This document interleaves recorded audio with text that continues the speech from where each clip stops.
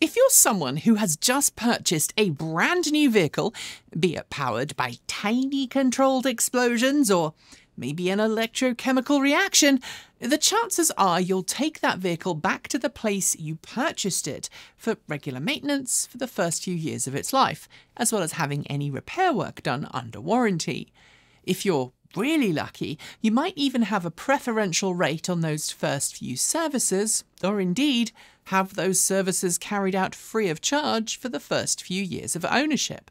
You'll also take your vehicle back to that same place for official recall work to be carried out because, well, your vehicle will have come with a comprehensive standard manufacturer warranty covering pretty much everything for the first few years, and then longer separate warranties covering things like the powertrain. If your vehicle isn't brand new, or you've travelled so far in it that you've driven past the limit of the standard warranty, then you'll need to get anything that isn't an official recall fixed out of pocket. That means you're going to have to pay for it, and that, from official dealerships, can be pretty darned expensive. The alternative for most internal combustion engine vehicle owners is to head to a local garage in their neighbourhood and to get the work done for far less than the official dealership would charge. In the electric vehicle world, though, well, save for a few specialists, finding non dealer service can be a real pain in the butt, and getting your EV worked on can prove pretty expensive. Effectively, EV repairs are being gate kept, and that could have long term impacts on the ability of older EVs to stay on the road. Let's look into why that is, who's to blame, and what needs to change to fix this particularly pernicious problem.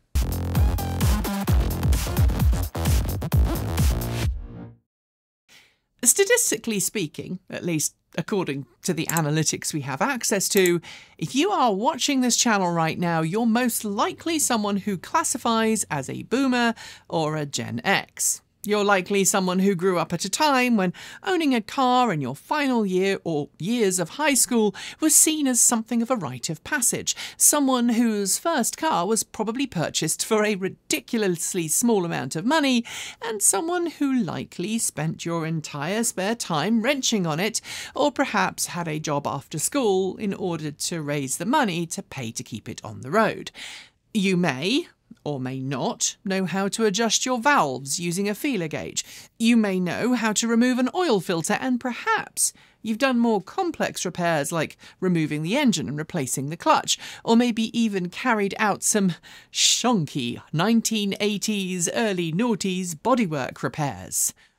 While I'm a Gen Xer, I actually grew up in a carless household in the 1980s, and because we never had a car past my third or fourth birthday, I didn't learn to drive until I was just about to graduate from university. So I missed out on a lot of the usual car ownership stuff of teenage years. That said, I did end up with my first car, a classic car from the 1960s when I was 23. So I played catch up pretty quickly. If you are younger than I am, you may have not enjoyed the same cutting of teeth on easy to fix cars as I did. My children's generation, they are 20 and 21 respectively, have pretty much missed out on all of the old school car ownership experiences. And they are from the generation where if it's broken, you take it to a garage. And that's mostly because more modern vehicles often need specialist tools or computers even to do the most benign of simple tasks, whereas cars from my formative years could mostly be fixed with a screwdriver, a wrench, and of course, a suitably sized hammer. As I said in the introduction, if the vehicle you're buying is powered by an internal combustion engine, the chances are you're going to be able to find a local garage willing to help you keep it on the road. But in the EV world, there's seemingly some pretty significant gatekeeping going on over parts and repair procedures. So today, I'm going to put on my metaphorical deer stalker, grab my magnifying glass, and figure out exactly who's to blame. Uh, but I can already tell you that it's a mixture of automaker and dealer protectionism, lack of knowledge around EVs and the industry as a whole, old fashioned FUD, and basic economics. Let's try and look at them in order. Automakers and dealerships are the first likely culprits. While it's accurate to say that electric vehicles are far less mechanically complex than internal combustion engine ones, and the list of things that need to be carried out on a regular basis as part of a regular maintenance schedule is far smaller for an EV than for an ICE vehicle, it's also fair to point out that ICE vehicles have formed pretty much the basis of the auto industry for so long that automakers and dealerships are still very much hard coded for suck, squeeze, bang, blow. The number of cars that share a particular engine or fuel system is far higher than the number of electric cars that share a particular battery pack or motor setup. This means parts are easier to come by and repair procedures are far better known because your average mechanic at a dealership is going to see an order of magnitude more ICE vehicles through their shop than they will see EVs, they're going to have a much more comprehensive knowledge of possible issues, pitfalls, and correct repair procedures. What isn't particularly well known is that in order for an official dealership to be allowed to work on a new car, at least one mechanic at the dealership must go through official training before the vehicle goes on sale. Without at least one mechanic being approved to work on the vehicle, the dealership may not even be able to sell said model. By the way, this is true of all vehicles and explains why, for example, some Lexus garages won't work on the oh so expensive limited production hand built LFA, or indeed why some Nissan garages won't work on the Nissan Z family of sports cars tied in with the requirement to be an officially approved automaker dealership to carry out official warranty repair work is the requirement that repair shops follow standard manufacturer approved repair procedures. And given that automakers would prefer repair shops don't dig around inside your battery pack, those official repair procedures may not always be the most affordable repair route for customers. Worse still, shops not following standard repair procedures could risk losing their official service moniker, which can affect not only the relationship with the relevant automaker, but also said auto shop's ability to obtain parts at preferential rates, and much more. There are a few exceptions here. Some automakers are actually okay with properly certified repair technicians opening up the battery pack and replacing modules because their cars have been designed with that in mind. Uh, but other car companies? Oh, no, no, no, no, no, no, no. Something goes wrong in the pack, the whole pack has to be replaced. And that's that can be costly. There's also a massive issue surrounding repair caused by the sheer rate of innovation in the EV world. We're seeing new cars come to market which ultimately go through multiple battery pack configurations before the 5 to 10 year lifespan of a traditional car model is up. This not only makes it hard to keep repair parts in stock at sensible prices, but it also makes the job of being a trained repair specialist on said vehicles much, much harder. The final part of the dealership and automaker problem comes in the form of old versus new vehicles. It goes without saying that automakers would much rather you buy a brand new car with new bells and whistles than keep that 15 year old EV on the road especially if they can slap in some new monthly fees for things that used to be free. No, I'm, I'm not bitter. I'm middle aged. Get off my lawn. At the same time, automakers want their dealerships to work on their new hotnesses, so incentives to keep staff trained on older models are smaller than incentives to train that said staff on new models. Add in the fact that there's an inevitable churn at the dealerships as technicians move, change careers, or become international spies, and when a dealership loses one of the last people who's certified to work on an older car, several things can happen. First, if there is at least one person left who is certified to work on your particular older EV, the dealership can charge more for that person's time, increasing the cost to you. And second, when that person ultimately leaves, the dealership may opt to not train someone new, especially if they know they have a limited number of vehicles in their customer fleet that will require that specific training. This, by the way, recently happened here on the US West Coast. We noticed that our local Chevrolet garage had dozens of Chevrolet Bolt EVs in the parking lot, and we wondered if they were all trade ins that were going to be made available as used vehicles soon. Upon digging further, we were told that no, they were all in for service, as our local Chevrolet dealership was one of the few in the area with enough trained technicians willing and able to work on the Chevrolet Bolt EV and do things like battery swaps.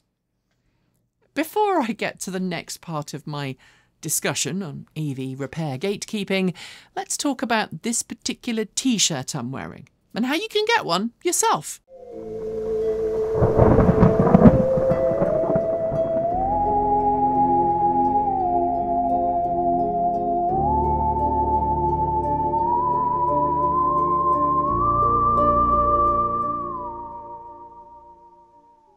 I honestly think that this is Erin's best t shirt design to date, and there's still plenty of time to order yours in time for Halloween.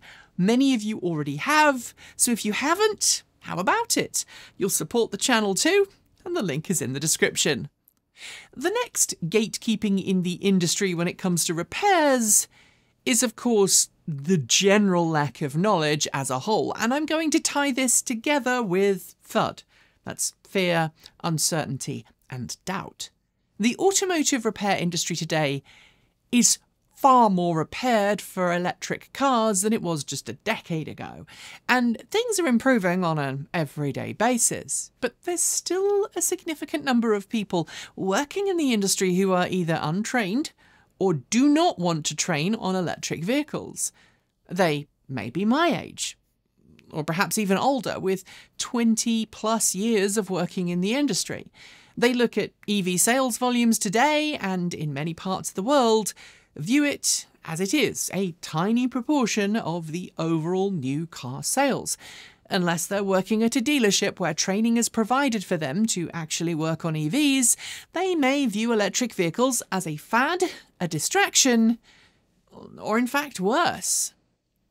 After all, why train on something that's going to bring you in a tiny amount of custom for now when people are lining up around the block to have their alternators repaired, their head gaskets replaced, and their emissions computer systems fixed. Makes no sense. Worse than that, while internal combustion engine principles may have remained pretty much the same for a century or more, the ways that automakers put cars together has definitely become more complicated. Gone are the days when replacing a fuse literally meant lifting the hood and reaching to an easily accessible fuse box where you removed the cylinder fuse that you needed to replace, probably on the firewall. And today we are at a position where, for some vehicles at least, replacing the fuse can be a full multi hour repair procedure because the offending fuse is hidden underneath things like trim pieces, air intakes, and more. Oh, and let's not forget that the average age of the global vehicle fleet has become older as people have found their wallets increasingly tightened. Sure, those who can afford to buy new do, often switching to an EV. But many, many more people, including some of you watching, are doing everything possible to keep your existing paid off cars on the road, even if that means spending more than you might like on repairs. If, as a mechanic, you're getting a decent income from your existing customer base, why spend more to train on vehicles that you won't likely often see and already can't actually fit into your schedule? This is particularly true for independent shops in areas of the world where there's a lot of FUD in the media about EVs. Of course, it would be wrong for me to point fingers. And I promise I'm not pointing fingers. But, but places where certain political viewpoints are more popular also, curiously, tend to be places where finding independent specialists to work on your older EV is particularly hard. I know correlation is not causation, but it's funny how those same places are often where you can find someone willing to illegally modify your diesel truck's emissions control system. That weird? The FUD surrounding EVs means that many mechanics won't work on them, aren't interested in learning how to work on them because of insert some random fear here. Sometimes it's fear of electrocution, sometimes it's fear of a fire, sometimes it's Look, I, don't know what the fear is, but I swear to your favourite deity that there is a subset of people out there who think that working on electric vehicles will make them the gay. Apparently, they think that's a bad thing. Finally, let's look at economics. Because the majority of EVs on sale in the last decade or so rely on parts that either never were or are no longer being made in large enough quantities, parts prices are kept artificially high. You can, in some cases, replace older components with their newer counterparts, but often you have to replace like for like, and that leads to a terrible situation where parts are being made in small batches, where their prices are kept artificially high, and pattern parts aren't really a thing. This is, by the way, in contrast to internal combustion engine vehicles, whose parts are often shared between multiple different models, and where pattern parts, parts made by copying original components, are really common. You can go online today and buy any number of pattern spark plugs for any common engine made in the last 50 years but you might struggle to find the exact match for the relay contactor that ensures your 4 or 800 volt battery pack isn't live when the car isn't on or charging. A lack of good, affordable parts, which by the way is also caused by automakers not really wanting people to make third party parts, combined with manufactured parts scarcity, means that you're paying through the nose for new parts for your older EV and sometimes, if you're really strapped for cash, finding a repair specialist willing to either dig down and replace that one broken component within a larger assembly, or in fact, swapping it out for a known good one from another vehicle of a similar age, is the only affordable option. That is, unless you're willing to pay an official repair specialist a huge chunk of your children's future to keep your EV on the road. But look, I'm getting ahead of myself here, because the whole matter of affordable EV repairs and why the conceit of trickle down economics for EV ownership doesn't work is for another video. And on that note, we're done today. If you have comments, drop us a polite note in the Discord chat room below, on Mastodon, or if you are a Patreon supporter, in the comments there. If you want more, subscribe, hit the bell, and follow the links to regularly support us with a YouTube membership or a Patreon subscription. You'll also find links to our Ko-fi, Bitcoin, and Swag store right below. There's no Mac Easter egg on this video because I'm going to need to take a little longer on the next bit. Scrolling on my right is a list of amazing charged up supporters, and if you are not on the list yet, thank you to those of you who've reached out and told us you weren't. We're sorry. We are working on a replacement because of the automated process we've previously been using has had some issues and we are rejigging our credit setup. Erin's got some great ideas, so watch this space. And if you have recently joined and your name isn't on the list, I'm sorry. We haven't generated a new list while we've been sorting out those particular bugs. In the meantime, thank you to all the people listed and all of the people who have recently joined our Patreon. Our YouTube ad revenue is still about $3,000 less than it normally is, so you are really helping us stay afloat and avoiding bad things for the channel. Thank you. And if you are someone who has just $1 a month to spare, please consider supporting us as we are still quite considerably lower on our YouTube ad revenue than we would like, every month this YouTube ad apocalypse continues. Shout outs go out to our V2G Patreon supporters Alan Tupper, Andrew Martin, Bennett Elder, Brophy Wolf, Chris Maxwell, Cyprian Laplace, Dan Blair, Gordon C, Hay Esker, John Tramal, Carl Fox, Mark Eggleton, Peter Dillinger, Regine Fellows, Sean Tucker, Stefan Fremgen, Stephen Williams, Taslet and the Gong, Paul Bricknell, Tony Moss, Carl Hodgson, Chris Centaur, Denny Hyde, Lawrence Schlar, Linda Irish, Mike Weeder, and Paul Nelson. And finally, big thanks to our off grid supporters Paul Conway, Kevin Burrowbridge, Stephen O'Donoghue, Jim Burness, Robert Flannery, Aaron Hahn, Ellery Hensley, Rory Litwin, JP Fagerback, Dave Kitchen, Andrew Glenn, Anonymous Freak, Chris and Michael Johnson, Clay Witch, CPU Freak 101, Eric Knack, Joe Bresney, John Henderson, Laura Reynolds, Marcel Ward, Matthew Drobnak, Nigel S., Reggie Watts, Will Graylin, and of course, Ian.